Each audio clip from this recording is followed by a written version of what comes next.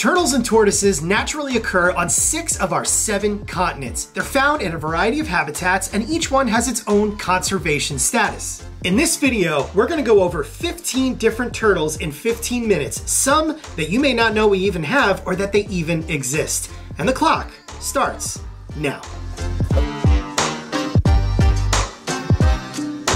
All right, let's get things rolling with the pink-bellied side-neck turtle, also known as the red-bellied short-neck turtle. Scientifically, she is Emydura subglobosa. This is a beautiful freshwater turtle species that's native to northern Queensland, Australia, and also southern Papua New Guinea.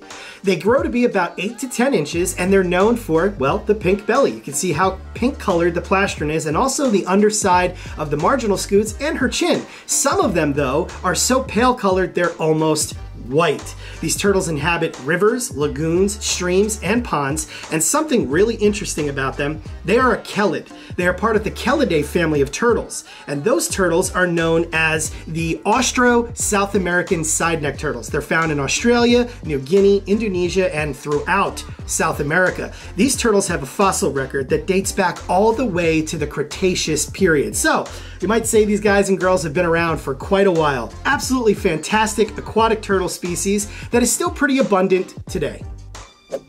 Next up is North America's spotted turtle. This is one of the United States' most iconic species and also one of our smallest, being fully grown at only between four and four and a half inches typically. Spotted turtles are in decline in the United States from habitat encroachment as well as collection for the pet trade. And some really interesting factors about them is that spotted carapace. Why does it look like that? Well, when these things are traveling along the bottom of a cedar creek, they blend in effortlessly with the pea gravel and sand sand granules at the bottom of the water. In fact, sometimes you don't even realize that you're looking at one until it starts moving considerably. Spotted turtles are migrators, and what that means is they don't spend time in the summer in the bodies of water that they would be hibernating in. So they may seek out vernal pools or ponds in the forest to spend the winter, and then once things warm up, First thing that they'll do is eat some amphibian larvae because that's timed with spring, and then they will disperse to other bodies of water for the summer and even fall. And then before it's time to go back to hibernation, they return to those vernal pools. They are an absolutely beautiful species, and they are some of the first ones awake in the spring because being so dark colored and small, it takes very little for them to heat up in the spring sun. This next turtle is one of the top 25 most endangered turtle species on the planet. Hailing from Laos and China, this is Bourret's box turtle known as Cuora bourreti. This turtle has a very low reproductive rate, laying only one to two eggs per year, and the hatch rate, well, unfortunately, is low as well. This turtle has been hunted to near extinction in its native habitat for both Chinese medicine and, of course, the pet trade. It's a Shire species, but it is a box turtle, having that plastral hinge there, meaning this animal can close up completely and very tightly. They live in dim forests, and they're not fans of very bright light. They prefer leaf litter and low-lying vegetation that they can hide under, forage under, and also nest under. Something really cool about them, their eggs are absolutely massive. I'm talking like that big. They're pushing about three inches in size in some cases. They're fully grown at about this size. You're looking at six to sometimes upwards of eight inches, and they're one of the flowerback box turtles along with Cuora galbinifrons and Cuora picturata. Leaving Asia and heading all the way over to the Amazon and Orinoco basins, we find the world's weirdest turtle species by far. This is the Mata Mata turtle. This freshwater turtle species lurks at the bottom of freshwater bodies and it looks like fallen leaves or a rotting log. So to an unsuspecting fish that has absolutely no idea what's going on, all this animal has to do is sit and wait. And then when the fish gets too close, boom, they use something called suction feeding to gobble the entire fish down in one shot. They also have a snorkel at the end of their nose right there. And what they do is they just sit there and then they stick their long necks all the way up to the surface of the water and just barely put the tip of that snorkel out to get some air. And then that's it. They can stay submerged for very prolonged periods. These animals can grow to be upwards of two feet in length. This is Jada, our Mata Mata, Jada the Mata, and she's a young female, has a long way to go, but she's a wonderful representation of this bizarre yet absolutely fascinating turtle species species. All right, Heading a bit north into the state of Florida, we find one of North America's beautiful box turtles. This is the Florida box turtle, whose scientific name is either Terrapene carolina bauri or Terrapene bauri. Why is that? Well, it depends on who you source when it comes to the taxonomy of this animal. They were once considered a subspecies of the common box turtle or eastern box turtle, but some consider them to be a full species. Some refer to them as the poor man's star tortoise because they have those beautiful yellow lines that sometimes look like stars all over the carapace. Florida box turtles are in decline and they have a limited range, being only really from Florida, except kind of into Georgia just a little bit. But Nonetheless, they are rather prolific, and in fact, some of our female Florida box turtles will lay upwards of five clutches of eggs in a single season. Being from Florida, you would think that they're only tolerable of warmer temperatures, but that's also not true. They actually can handle very cold temperatures, and like all other North American box turtles, they are capable of not only submerging, but even swimming in water. While we're in Florida, let's make sure we check out the largest turtle species in North America and one of the largest turtles in the world. This is the alligator snapping turtle. This is Chief Brody, and he's the Apalachicola representation of his species. Depending on who you cite, there's either two or three species of alligator snapping turtle, and Chief Brody happens to be the one that is found in Apalachicola. These animals, unlike what we've been taught for so many years, are not just lazy swamp monsters that sit there and do nothing. Sure, they do use that worm-like appendage in their mouth to lure in an unsuspecting fish, but they also actively hunt, and they'll even do it at night night. And in fact, one of Chief Brody's main food items in the wild and even here at Garden State Tortoise is clams. These animals are mollusk and crustacean eaters and they have no issue breaking through the shell, swallowing it, and even passing it. What a remarkable ancient animal that can live to be more than 150 years old. Wow, they're just, they're absolutely magnificent. It never gets old checking these guys out.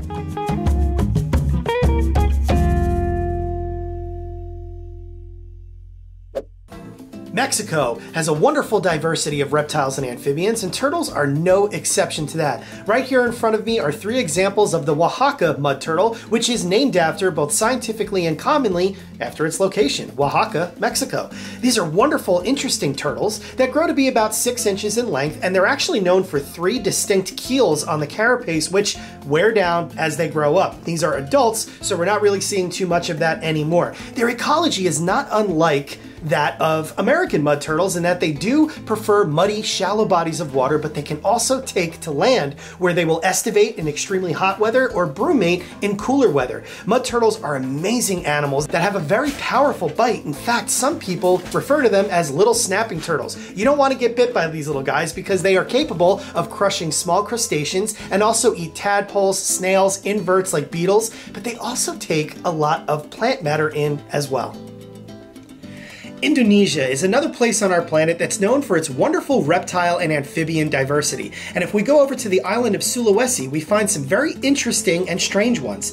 This is the Sulawesi forest turtle, scientifically known as Leucocephalon yuwonoi, which means white-headed, because the males develop beautiful white heads. This turtle was only discovered in 1995, and later in the 90s, it was believed by some that there were as few as 100 left in nature. So it's no surprise, this turtle is also one of the top 25 most endangered turtle species on our planet today. In addition to habitat encroachment, habitat loss, water pollution, and of course illegal collection for the pet trade, this animal has an extremely low reproductive rate, laying only one to two eggs per year. And it's believed that in captivity, as few as 20 have ever been hatched under human care. They're a powerful animal that can inflict a painful bite. They're an omnivore, so they eat both plant and animal matter, and they prefer cool mountain type streams, not unlike the North American wood turtle found back in the States. This is what I was just referring to. Another mountain stream dweller. This is North America's wood turtle, named for the sculpted look of the carapace because it looks as though it had been carved out of wood. The North American wood turtle is an extremely cold tolerant species that actually occurs right here in New Jersey, but way north of us and all the way over to the Great Lakes region and even into Canada. This animal is arguably considered the world's smartest reptile species, and some people have put their intelligence up against monitor lizards. Now, as somebody who works with monitor lizards as well, let me tell you, it's no joke when it comes to just how smart these turtles are. They're problem solvers. And I'll tell you another fun fact about them they know how to stomp for earthworms. Well, what is that? That's when earthworms are underground and wood turtles take their plastron and start repeatedly slamming it down on the ground to simulate raindrops. That then drives the unsuspecting worms to the surface where the wood turtle just gets to gobble them up. North American wood turtles are an endangered species. They are rapidly in decline, and that's in part to the fact that they are naturally an outgoing species that moves. These animals hibernate and breed in stream beds, but then once the summer comes, the females especially take to land, and they often find themselves being confronted with farm equipment because they prefer to forage and nest in farm areas.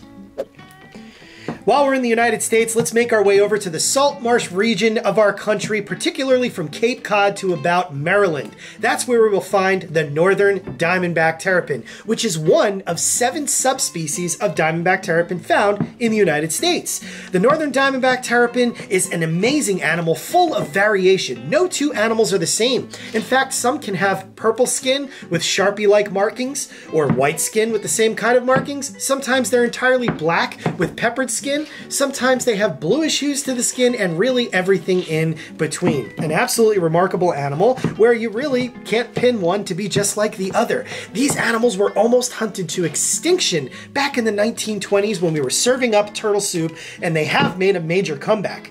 This happens to be the species we do most of our conservation work with here in New Jersey, and our project is called the Terrapin Conservation Initiative. Males, as you can see, are much smaller than big females, and really the only reason for that is that the females have to carry large clutches of eggs. They can lay anywhere between 6 and 16 in a single clutch, and they can lay up to 3 clutches in one season. Back to Asia we go, China to be exact. This is one of the world's rarest turtle species. I know you've heard me say endangered a few times, and this is also one of the top 25 most endangered turtle species today, but this animal is seriously critically endangered. This is Cuora mccordi, McCord's box turtle. Found in bamboo patches of broadleaf forests, this turtle was not discovered in nature until 2005, and no live specimens have been seen in its native range since 2010, so it is believed to be extinct in nature. But this turtle's demise began in the 1980s when the turtle trade of Asia really took off. Cuora mccordi is not a very big species. They're semi-terrestrial or semi-aquatic, and they grow to be about six to eight inches. These animals, like many others, were hunted to extinction in nature for medicinal purposes and also the pet trade. While they have a long way to go, it is believed that there are between seven and 800 reproductive adults in captivity worldwide today. Since we're in China, let's make sure we check out one of the most popular turtles over there that is also very popular in herpetoculture still today. This is the Chinese box turtle, Cuora flavomarginata. Like our box turtles, it has a hinge on the plastron, enabling it to fully close up. But this turtle goes by two other names, one being the yellow margined box turtle and also the snake-eating turtle, because this turtle does not hesitate to effectively kill and consume snakes. Cuora flavomarginata has one fun fact about them that is not so fun for the species or if you keep them. They won't hesitate to eat each other's eggs or their own eggs. I'm serious about that. A nesting female will literally spin right around and consume her own eggs. This seems to be reported mostly in captivity, but something tells me it might also happen in nature. No surprise, they are endangered as they've been collected for many, many years for both medicinal purposes and for the pet trade, but they are an absolutely stunning species with a whole lot of contrast going on there with the dark mahogany shell and that beautiful yellow and orange face. Okay, Let's head back to Mexico real quick and take a look at one other of their beautiful, fascinating turtle species. This is the Mexican box turtle, Terrapene mexicana. Right off the bat, something you'll really notice is the difference in coloration between the males and the females. The males are known to have an insane array of coloration on the head and legs. They can be blue and red and yellow and white, whereas the females, a little bit more of a uniform brown color. But nonetheless, what the Mexican box turtle lacks in its shell coloration, it truly makes up for in its skin color at least on the males. Another fun fact about the males you can't tell the difference for male and female by looking at the plastron. While most other box turtle males have a deeply concave plastron, Mexican box turtles don't. They're level or flat, just like the female. Mexican box turtles are targeted heavily by poachers, and in recent years, droves of them have been removed from their native habitats in Mexico and sent to all different places across the world. That's how we ended up with ours, and that's why they have numbers on them. Authorities put these numbers on them because ours recently came from a confiscation.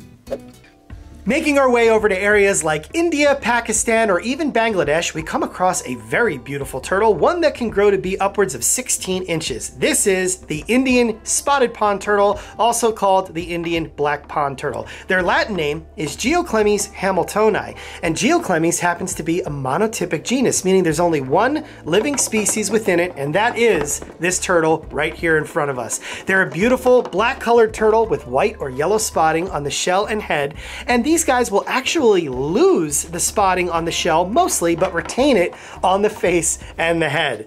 They are omnivores, they do eat a lot of plant and animal matter, and unfortunately, they are as well endangered, like many of the other turtle species you got to see in this video. They're a freshwater turtle species, being primarily aquatic, and they develop very powerful heads. You'll also notice the three distinct keels that run along the carapace. They are named after the Scottish ichthyologist Francis Hamilton.